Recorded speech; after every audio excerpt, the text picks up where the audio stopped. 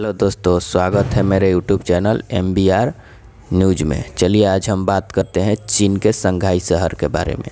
क्या आप जानते हैं कि चीन के संघाई शहर में इतनी आत्महत्याएँ होती है कि लोग किसी इमारत के पास से गुजरने से डरते हैं कि कहीं उन पर लाश न गिर जाए?